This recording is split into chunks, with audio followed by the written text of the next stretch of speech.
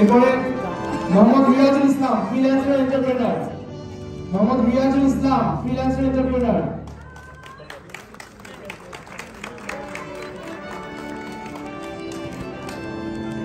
এরপরে আসবেন দিগন্ত হাসান রুবেল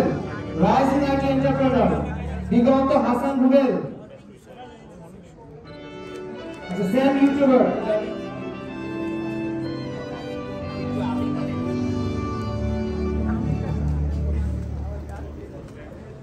पंडित